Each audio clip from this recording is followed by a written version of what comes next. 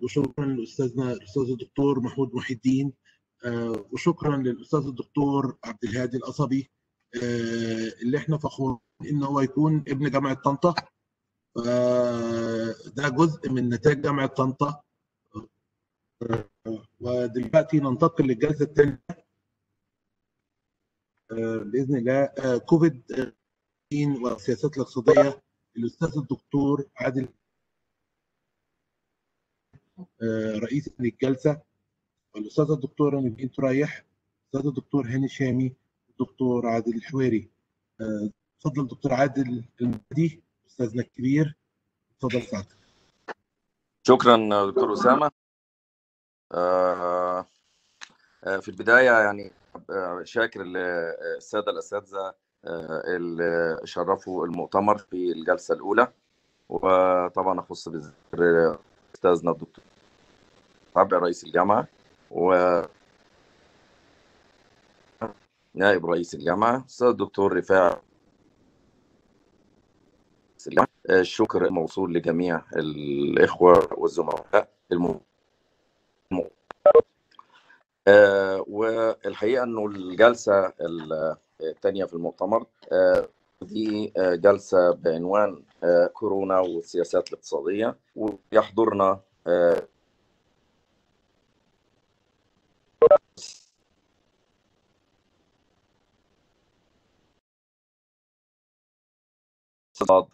حلوان وعميد المعهد الإدارية بالأرض وأيضا يحضرنا الأستاذ دكتور والاقتصاد في جامعة طنطا والأستاذ يعني كلية التجارة جامعة طنطا. يعني شكر موصول أيضا للاستاذ الدكتور محيي محمود محي الدين على العرض ال ال الوافي لجائحه كورونا والحقيقة يعني غطى كل الموضوعات. و يعني ارتباطا بالواقع العالمي والمحلي شكرا لمعاليه على هذا العرض آه، كورونا بطبيعة الحال كفيروس ارتبط آه، أو أو له تأثير أثر وسيؤثر على التجارة الدولية على النظام الاقتصادي العالمي على مكوناته على النمو الاقتصادي آه، خلال الفترة القادمة على البطالة على الفقر على الاستثمارات الدولية على الصحة على الأساسية على الإنتاج على أشياء كثيرة قوي الجلسة الحالية تقتصر على ثلاث موضوعات. الموضوع الأول هتحضرنا فيه في حدود من 10 ل 12 دقيقة. الأستاذ الدكتورة نوفين تريح عن علاقة فيروس كورونا والعولمة والأثر على انتقالات السلع والخدمات والاستثمارات والعمالة وأيضا الأثر على ال GVC ال global value chain آه وهيحاضرنا برضو في عشر دقائق الأستاذ الدكتور هاني. آه الشامي في آه علاقة كورونا بالسياسات النقدية. وأخيرا الأستاذ الدكتور عادل الحوراني عن الكورونا والسياسات المالية. فلتتفضل دكتورة نيفين في عرض الموضوع. دكتور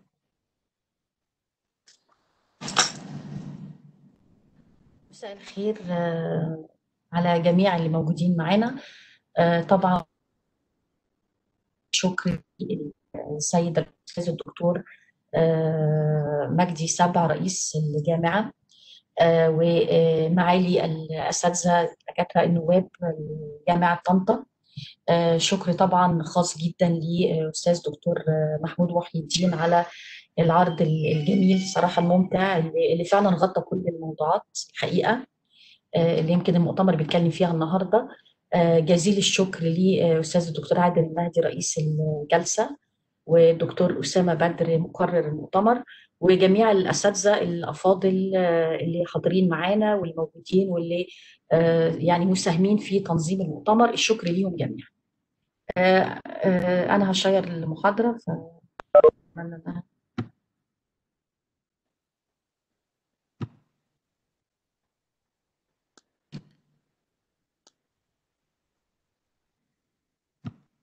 مش عارف هي ظهرت ظهرت يا دكتورة ظهرت. طيب. الحقيقة طبعا يعني يمكن أكتر حاجة بتميز جائحه كورونا يعني طبعا ميزة سلبية مش إيجابية إن التوقعات فيها ضعيفة جدا. ما حدش فينا يقدر يتوقع الاقتصاد رايح على فين. يعني هل نتشائم زيادة عن اللزوم ولا نتفائل ولا نقع في منتصف الطريق؟ فالحقيقة لما بنقول العولمة وجائحة كورونا طبعا الموضوع كبير جدا ولا يمكن إن إحنا نغطيه في برزنتيشن أو في محاضرة أو حتى في مؤتمر. لكن نقدر نقول إنه هي محاولة لاستخلاص بعض الأفكار محاولة للتفكير محاولة لاستخلاص التحديات اللي هيفرضها علينا أو هتفرض علينا هذه الجائحة. على مسار العولمة وإزاي نقدر إن إحنا ننتهز بعض الفرص من من هذه الجائحة. طبعا يعني أكيد كلنا بنعلم إن إحنا بنعيش في إطار طبعا عولمة شديدة جدا متشابكة متراميه الاطراف في جميع المجالات. تبادل يعني هائل جدا للتجارة في مجال السلع في مجال الخدمات رأس المال الدولي تدفق طبعا عبر الحدود انتشار سريع جدا للتكنولوجيا والمعلومات. يمكن ده خلى إنه الاقتصاد العالمي بقدر تشابكه بقدر سرعة استجابته لأي صدمات. وده خلى الاقتصاد العالمي ضعيف المناعة أمام انتشار أي أزمات. بس إحنا الأول ما كانش يخطر على بالنا إن ممكن يكون في أزمة صحية أو جائحة صحية. ممكن إنها تؤثر بالشكل ده على الاقتصاد العالمي. دايما كان تركيزنا على الأزمات المالية الأزمات التجارية. وكنا دايما نقول إن الاقتصاد العالمي ضعيف الاستجابة أو يعني سريع العدوى لانتشار تداعيات هذه الأزمات. النهارده إحنا بنقف أمام فيروس بنقف أمام جائحة بنقف أمام طبعا يعني مرض شديد أو فيروس شديد. في نفس الوقت العولمة ساعدت على انتشاره. يعني يمكن بنقول إنه هو في حد ذاته لو كان الدنيا مقفولة يمكن ما كانش انتشر بالشكل ده. فهو نقدر نقول يعني أثر وتأثر بالعولمة. بالتأكيد ومما لا شك فيه أن هذه الجائحة أكيد عملت وهتعمل تغيرات في مستقبل التنمية العالمية. أكيد هيكل التبادلات التجارية والسلعية والخدمية أكيد هيتغير. بدليل إنه من ساعة ما ده حصل طبعا العالم كله فرض حواجز جديدة جدا حظر السفر سلاسل التوريد حصل لها نوع من الشلل من الإيقاف قيود كبيرة جدا على التصدير على الاستيراد. فبالتأكيد يعني إن لم يكن الفيروس أو هذه الجائحة يعني هتقضي على العولمة. وطبعا ده كلام يعني أنا مش موافقة عليه إنه الجائحة هتقضي على العولمة هتقتل العولمة لأ أكيد ده مش هيحصل. لكن بالتأكيد هي هتخلق مسار جديد أو نموذج جديد للعولمة. فهنا الحقيقة مجموعة من التساؤلات يعني بتفرض نفسها. مسار العولمة إزاي هيتغير بعد أو في إطار هذه الجائحه هل ممكن نرى نسخة جديدة من العولمة مختلفة عن اللي إحنا شاهدناها طوال العقود السابقة. خاصة إنه طبعا يعني سنة 2020 أكيد هي سنة هتشهد نقاط منخفضة جدا لمعظم المؤشرات الاقتصادية والمالية. وطبعا يعني أستاذ الدكتور محمود وحي الدين عرض لينا معظم المؤشرات المالية والاجتماعية والاقتصادية. وقد إيه شفنا إنه حصل انخفاض في معظم هذه المقاييس. لكن السؤال مدى الانخفاض مدى الانحدار في هذه المؤشرات؟ إلى متى سيستمر؟ وإيه هي السرعة اللي ممكن يتعافى بها الاقتصاد وتتعافى بها هذه المؤشرات؟ آه الأول قبل يعني أقول إزاي ممكن يكون بعض التحديات اللي هيفرضها أو هتفرضها هذه الجائحة على أبعاد العولمة يعني بشكل مبسط جدا هستعرض يعني بعض أو صور الاقتصاد العالمي في ظل إيه آه هذه الجائحة. آه الحقيقة إنه طبعا وفقا لا إله إلا الله. وفقا لكثير من المؤسسات التوقعات طبعا أشارت إلى إنه ممكن يحصل انخفاض في حجم التجارة العالمية بنسبة من 13 ل 32% يعني على فكرة ده يدل على إنه فعلا حتى المؤسسات الدولية غير قادرة على التوقع. يعني حتى صندوق النقد الدولي عمل يعني رينج جامد جدا 13% لا ده متوقع بشكل أكثر تشاؤمي 32% يحصل انخفاض في حجم التجارة. فده يعني بيؤكد على إنه كل اللي إحنا بنقوله ده توقعات مفيش طبعا حاجة أكيدة. آه حصل بالفعل انخفاض وتراجع في آه حجم الصادرات والواردات والمتوقع إنه يكون يؤدي إلى 10% في الصادرات والواردات في نهاية عام 20 طبعا الركود آه واضح جدا في النشاط الاقتصادي. آه صندوق النقد الدولي توقع إنه الاقتصاد العالمي ينكمش بن أو يتراجع بنسبة 3% وإنه ممكن يحصل معدل نمو صفر صفر في المية ما كانش بالسالب يعني في نهاية هذا العام. أيضا متوقع للاستثمارات الاستثمار الأجنبي المباشر إن هو ينخفض بنسبة كبيرة جدا قد تصل إلى 30% وطبعا أكثر القطاعات تدهورا أكيد قطاع الطاقة كل طبعا شركات قطاع الخدمات وشركات الطيران وصناعة السيارات. يعني دي بعض الملامح البسيطة للاقتصاد العالمي وخاصة فيما يتعلق بالتجارة في ظل هذه الجائحة. طيب خلينا نقول إيه هي بعض الآليات المتوقعة لتأثير هذه الجائحة على العولمة. طبعا مصطلح العولمة هو مصطلح كبير جدا يعني العولمة لها أبعاد عديدة. بعد تجاري وبعد مالي وبعد سياسي وبعد اجتماعي وبعد بيئي أيضا. فيعني النهارده يمكن شوية التركيز أكتر على الأبعاد الاقتصادية للعولمه يعني هركز أكتر على البعد التجاري والبعد المالي للعولمه لو هتكلم على الجزء الخاص بالنظام المالي وأسواق المال والمؤسسات الدولية ويمكن برضو أستاذ دكتور محمود وفي الدين أشار ليه في بعض المؤشرات المالية. فالحقيقة إنه النظام المالي طبعا متشابك بشكل كبير. لما بنتكلم على عولمه مالية يعني مترامية الأطراف النهارده.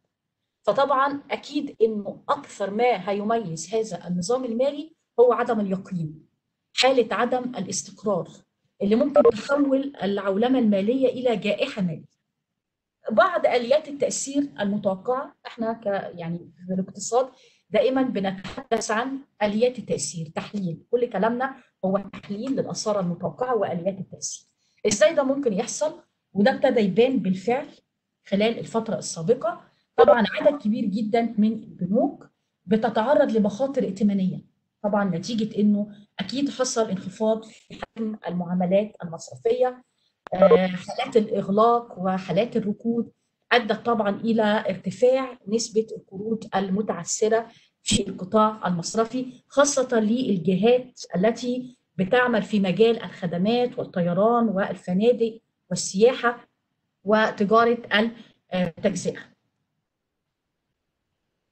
أيضا حصل إنه في أسعار الاصول طبعا انخفضت بشكل كبير جدا حتى الأصول اللي هي المخاطر عالية جدا عانت من انخفاض الأسعار. يعني بنسبه في الاقتصاديات الكبيرة والصغيرة الأسهم انخفضت بنسبة تفوق 30% خاصة للشركات اللي هي تصنيفها الائتماني منخفض شوية.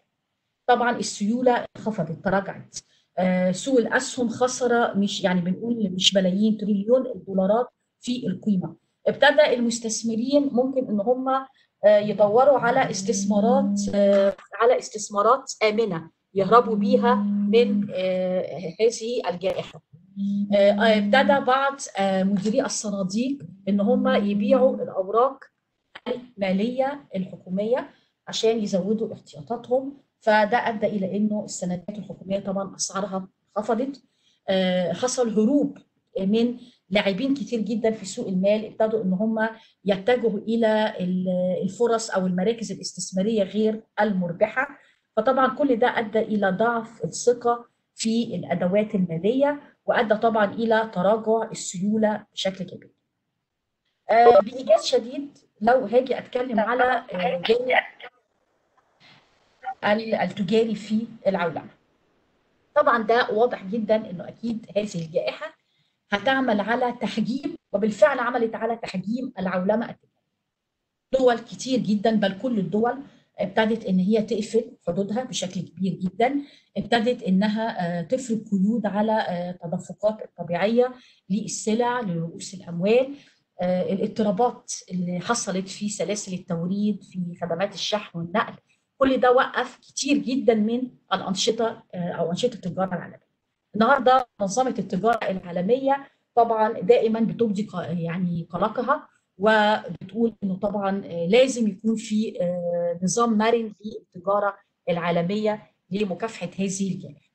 حتى يعني النظريات اللي كنا دائما بنتكلم عنها في التجارة الدولية نظرية الميزة النسبية إن كل دولة تتخصص فيما يعني في أفضل ما تستطيع إنتاجه وتحصل على ما تريده بسعر أفضل من دول أخرى طبعا النهارده ده كله بيقع ده كله بيروح بينهار التخصص التجزئة كل ده النهارده طبعا يعني بتقضي عليه أو بتقلل أهميته هذه الجائحة بشكل كبير.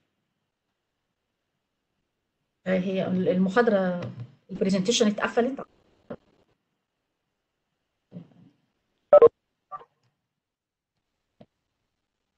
طبعا يمكن أكتر حاجة هتتأثر بيها التجارة العالمية يمكن دي النقطه اللي أنا مركزة عليها شوية اللي هي سلاسل التوريد سلاسل التوريد طبعا هتتأثر وبل وهتنهار. يعني النهارده ثبت إنه في ظل حالات الإغلاق اللي لجأت إليها كثير جدا من الدول في ظل تعطل سلاسل التوريد ابتدت الدول تعيد التفكير في طيب وبعدين؟ يعني هل إحنا يعني إزاي نصلح هذا الوضع؟ نتجه النهارده لإيه؟ نتجه للمحليه، نتجه إلى الإقليمية، هل هز يعني دي فترة مؤقتة وهتنتهي وهتظل سلاسل التوريد العالمية هترجع من جديد إنها تمارس عملها؟ النهارده أنا بقول 75% ده survey يعني اتعمل من الشركات العالمية عندها خلل في سلاسل التوريد بسبب طبعا قيود النقل. وطبعا الرقم ده متوقع إنه يزيد وحوالي 50% من الشركات عندها يعني نوع من القلق وعدم الأمان من إنه يحصل أي مفاجآت غير متوقعة في تأخير طلبياتها في أو تلقي الطلبات لأنه في تعتيم كبير جدا النهارده على المعلومات الخاصة بسلاسل التوريد. الدنيا رايحة إلى فين؟ تغيرات قصيرة الأجل وطبعا التغيرات قصيرة الأجل اللي موجودة النهارده في سلاسل التوريد أكيد هتؤدي إلى تحولات في المدى الطويل. هذه التحولات ابتدت الدول تفكر فيها. هل نتجه إلى المحلية زي ما قلت من شوية هل نتجه إلى الإقليمية. فدي برضو نقطة هنتكلم فيها كمان شوية. آه البعد الثالث يمكن وأنا بعتبر ده ميزة بقى أو فرصة أكتر من انه تحدي الجانب التكنولوجي. بالتأكيد طبعا إنه من أهم أشكال العولمة النهارده هي الرقمنة والتكنولوجيا. طبعا العولمة الرقمية هي الحقيقة هي انعكاس للانفتاح العالمي وفي نفس الوقت هي أدت إلى زيادة الروابط المالية والاقتصادية والعالميه. يمكن الميزة إنه هذه الجائحة يعني على قد ما تسببت اليه أو في صدمة للاقتصاد العالمي إلا إنها عملت نوع من التحدي للتحول إلى العولمة الرقمية. النهارده الكل شركات مستهلكين حكومات بدليل إنه مؤتمر يعني عظيم زي المؤتمر اللي إحنا فيه النهارده إحنا بنديره من خلال يعني المنصات الرقمية. فالحقيقة يمكن الكورونا هتعمل نقطة تحول جديدة في هذا الجانب اللي هي العولمة الرقمية. وإن كان ده برضو هيعمل نوع من التحدي. طيب بعد انتهاء هذه الجائحة إن شاء الله وإعادة فتح الحدود واستئناف التجارة أكيد إنه الناس هتبتدي خلاص اتعودت إنها تعيش وتعمل في ظل مزيد من الرقمنة. طبعا ده ممكن يؤدي إلى تهاوي الشركات. غير قادره على مواكبة هذا النوع من العولمة. وعلى الجانب الآخر ممكن شركات ومؤسسات أضعف قادرة على المواكبة تنهض. بالتأكيد إنه شكل المنافسة وإنه شكل التجارة وإنه شكل التبادل هيتغير بشكل كبير في ظل هذه العولمة الرقمية المتزايدة جدا في إطار جائحة بنقول طيب يعني إيه الفرص اللي ممكن أوجدها؟ يعني قد ما هذه الجائحة. بتعمل تحديات وممكن تغير من مسار العولمة وتعمل نموذج جديد للعولمة فبالتأكيد ده خلى العالم يفكر في إيه الفرص اللي ممكن أنا أستفيد بيها من هذه الجائحة. آه النهارده إحنا بنقول آه ممكن قوي إنه يكون الأثر النهارده أكبر من إحنا متوقعينه في المستقبل بالعكس ممكن يكون الاثار أقل لكن في جميع الأحوال أكيد هيكون في تغيرات هيكلية في مسار العولمة النهارده كل دولة بتحارب من أجل البقاء من أجل الدفاع عن نفسها فأكيد ما فيش دولة هتقف تتفرج أكيد جميع الدول وجميع المؤسسات هتسعى إنها تاخد يعني أو هتاخد سياسات جديدة تستفيد بيها من هذه الجائحة. لو هنقول مثلا في مجال التجارة العولمة التجارية وبالأخص سلاسل التوريد. النهارده بعض الشركات والمؤسسات ابتدت فعلا تقول سلاسل التوريد لابد إنها تنحني من العالمية إلى المحلية. لدرجة ابتدى في النهارده فكر ثاني يطالب به الحمائيه التجارية. يعني حتى إن كانت مش بشكل كامل إنما لا لازم يكون النهارده في قيود لازم يكون في نوع من الحماية لازم نأهل نفسنا كدول إنه إحنا نقلل اعتمادنا على الاستيراد لازم نحاول إن إحنا نوطن عديد من الصناعات والقطاعات خاصة بقى الصناعات الطبية والشحن وغيرها وإن كانت بعض الخدمات والصناعات الحقيقة في صعوبة في توطينها لأنها مرتبطة بالخارج أكتر فدي برضو نقطة إحنا بنرد عليها على السيناريو اللي بيقول إنه النهارده في فرصة إن إحنا سلاسل التوريد نخليها محلية بدل ما هي عالمية. في سيناريو تاني بيرى إنه هذه الجائحة ممكن تخلق فرص إن إحنا نقلل التوجه للعالمية إلى الإقليمية. نعيد هيكلة سلاسل التوريد يتم تقصير هذه السلاسل بحيث إنه تتحول من العالمية إلى الإقليمية. طبعا ده معناها برضو إنه كل الأسواق المحلية لازم تأهل نفسها إنها تكون يعني بتعمل في إطار إقليمي وليس في إطار عالمي. وفي سيناريو طبعا ثالث متفائل جدا بيرى إنه العولمة الاقتصادية هتتعافى بمجرد انتهاء هذه الفترة والأسواق المالية هتتعافى ولكن في جميع الأحوال الدرس اللي تعلمته هذه الدول هو إنه عدم اليقين هو عقبه ممكن تقف أمام أي دولة أو أمام أي مؤسسات في أي دولة. فبالتالي بالتأكيد أي دولة محتاجة إنها تؤهل نفسها محليا عشان خاطر تقلل الاعتماد على الخارج. إحنا ما بنقولش ممكن نقول نوطن سلاسل التوريد لكن بنقول ممكن إن إحنا ننوع سلاسل التوريد، ننوع اعتمادنا على الخارج. آه الفرصة برضو اللي ممكن نطلع بيها من آه هذه الجائحة هو إنه يجب على الحكومات في كل الدول إنها يكون ليها دور أكبر من كده. يعني بشكل أكبر من المشاركة. آه النقاش السياسي طبعا ابتدى إن هو ظهر أهميته دلوقتي. لازم الدول تتخذ إصلاحات أكبر في مجال مؤسساتها. لازم يكون في حماية أكبر من الحكومات ل مبادرات التحول الرقمي. كل ده الحقيقة يعني هو مطروح وهو فرص بتفرض علينا هذه الجائحة. يعني من الآخر بنقول أن هذه الجائحة هتفرض نموذج جديد ومسار جديد للعولمة وليس إنهاء العولمة بل التحول إلى شكل جديد للعولمة. وطبعا يظل لسه التفكير يعني كل اللي إحنا بنقوله النهارده ده وجهات نظر. يظل لسه طبعا ما فيش حكم نهائي. إحنا مش عارفين برضو الناحية الاقتصادية رايحه لحد فين. يظل ده تفكير وسيناريوهات ولكن الأهم هو لو أي من هذه السيناريوهات تم تنفيذها إزاي يتم إدارتها بشكل جيد؟ في النهاية بشكر كل الأساتذة الأفاضل القامات الاقتصادية والقامات العلمية الكبيرة جدا اللي موجودين معانا وكل المشاركين وكل الحاضرين في المؤتمر. شكرا لحضرتك. شكرا نيفين. شكرا. شكرا. العرض الشيق للتأثير والفرص والتحديات اللي بتتيحها جائحة كورونا على العالم وعلى الاقتصاد المصري. شكرا جزيلا.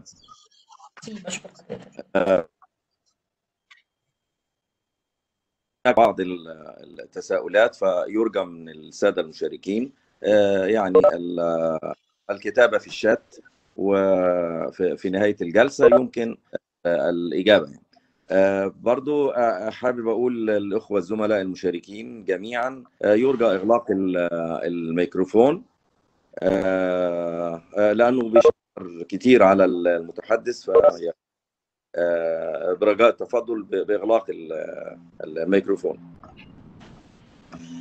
معنا الآن الأخ العزيز الأستاذ هاني شامي رئيس قسم الاقتصاد في كلية التجاره جامعة طنطا.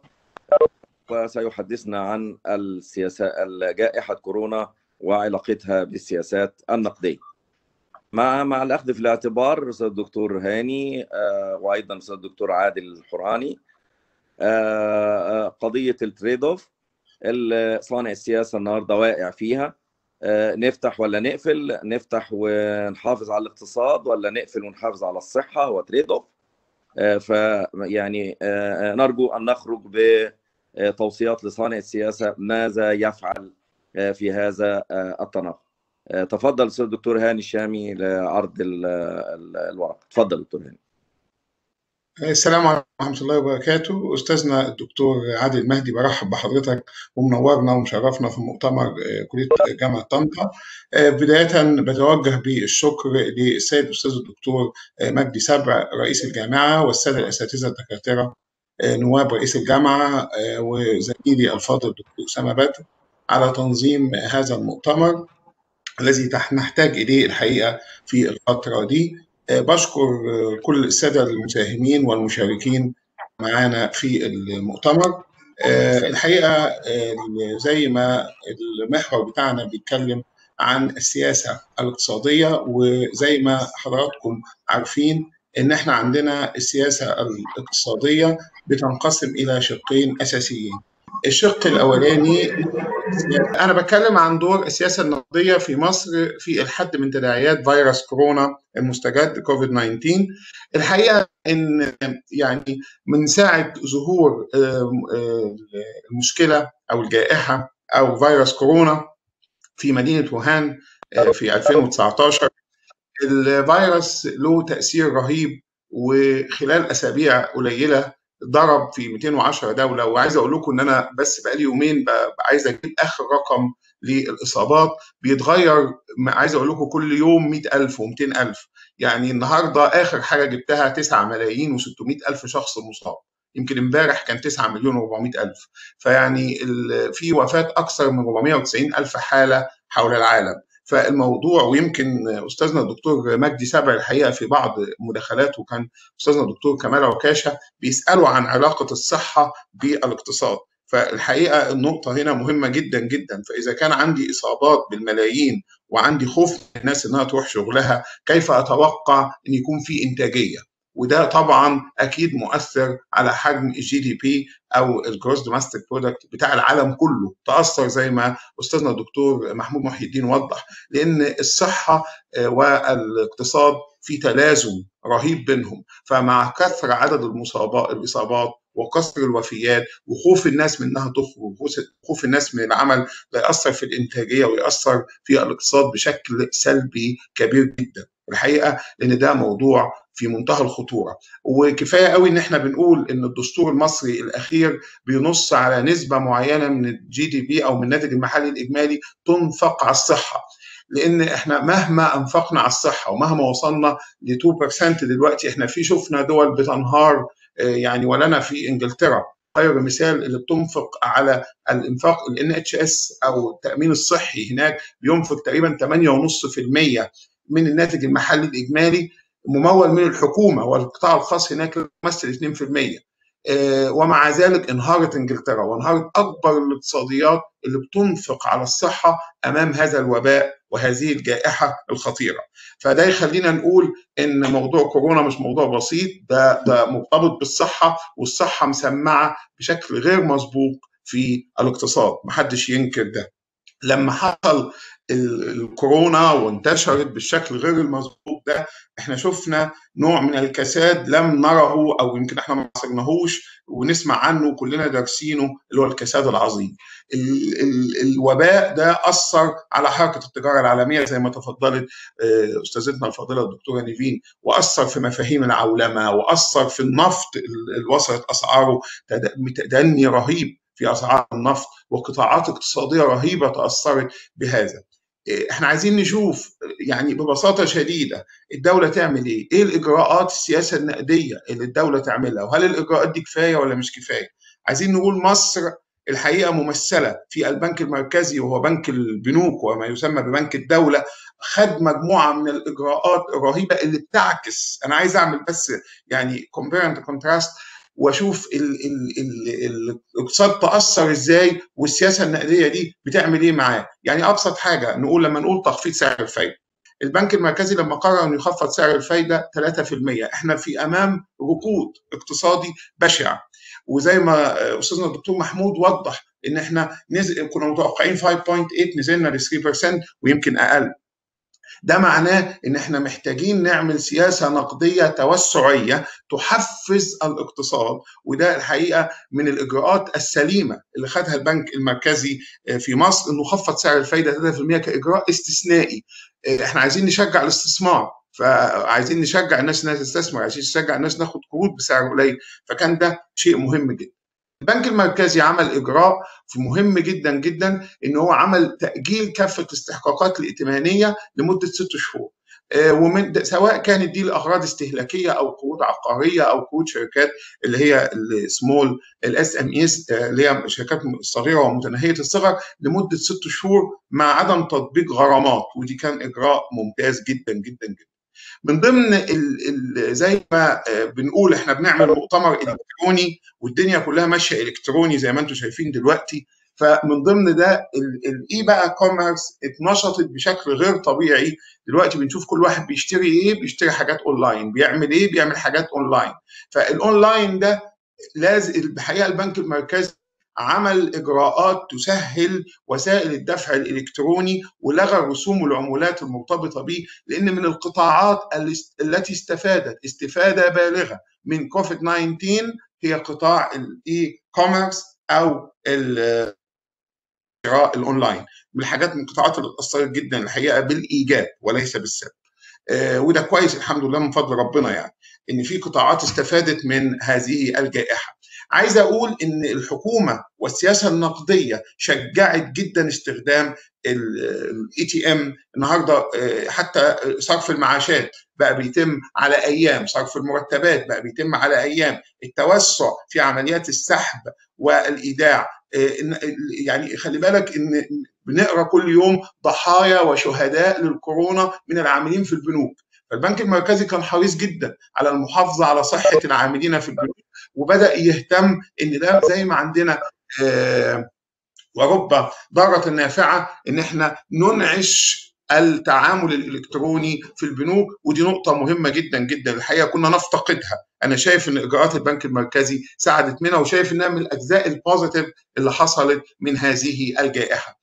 إتاحة التمويل اللازم لتمويل واستيراد السلع الاستراتيجية. محتاجين نستورد ومحتاجين سلع لا غنى عنها وزي ما شفنا إحنا السوق المصري لم يتأثر بالسلب. بالعكس أي حد فينا بينزل سوبر ماركت بيلاقي السلع متوفرة والحكومة حريصة وكنوع من الإجراء النقدي هي تسهيل الاستيراد وتوفير الاستيراد عشان نقدر ندفع كمان مرتبات العاملين نقدر نستورد السلع الاستراتيجية which is very good. وأنا مش شايف إن حصل لنا تأثر. على فكرة أنا بقارن اللي حصل في مصر بأوروبا. أنا شفت في الميديا إزاي إنجلترا ولي أصدقاء عايشين في إنجلترا كانوا بيحكوا لي إزاي في queues رهيبة على إنه يدخل سوبر ماركت ويشتري. وأظن الدكتور إيهاب معانا من أمريكا. لو أعتقد المشكلة دي موجودة.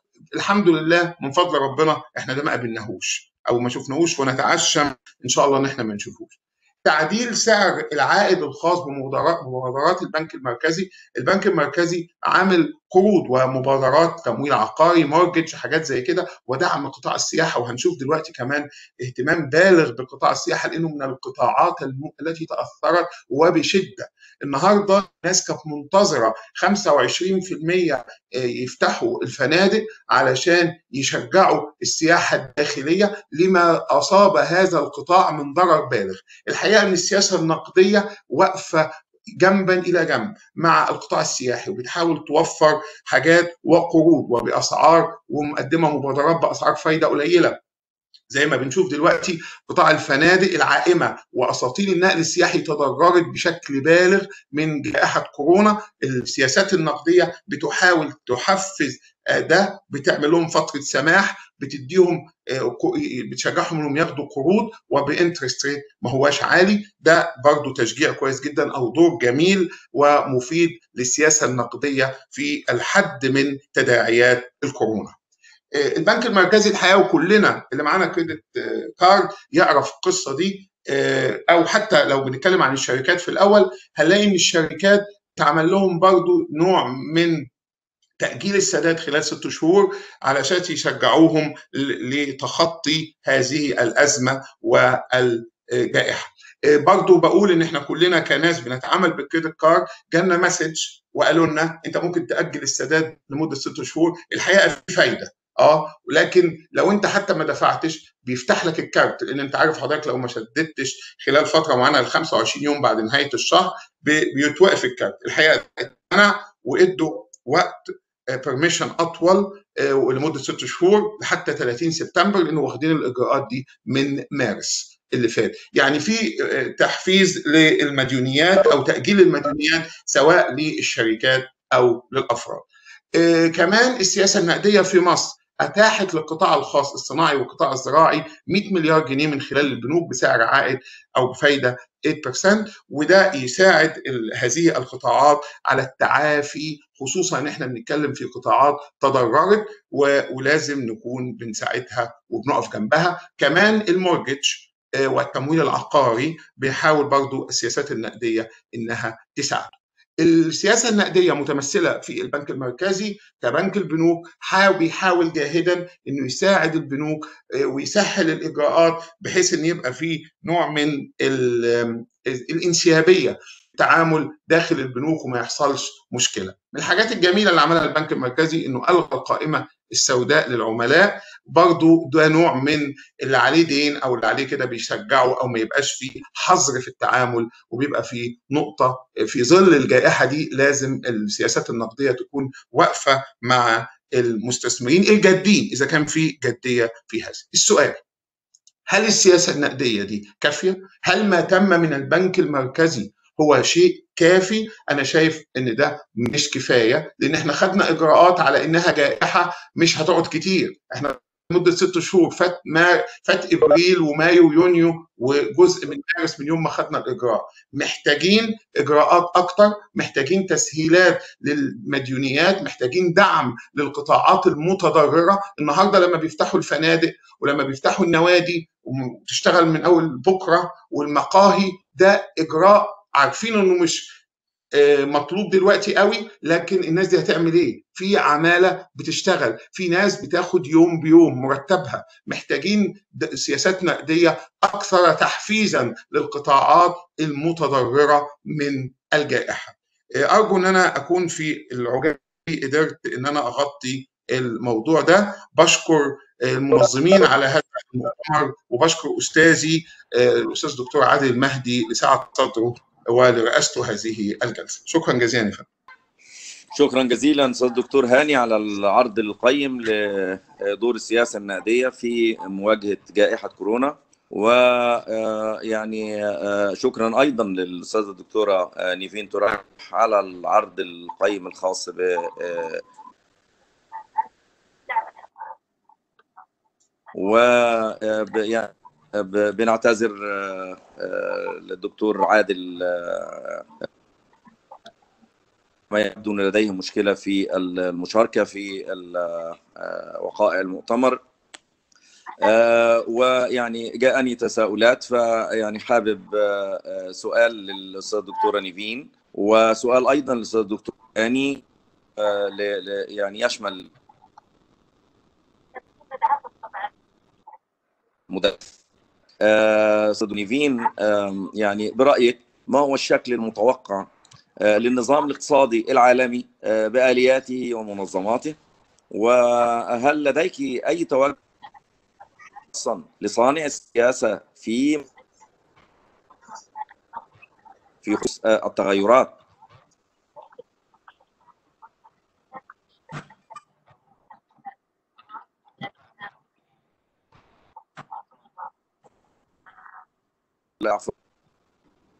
الاستثمارات والمتوقع في الاستثمارات الدولية الاستثمارات مباشرة التي خاصة هذا الخصوص.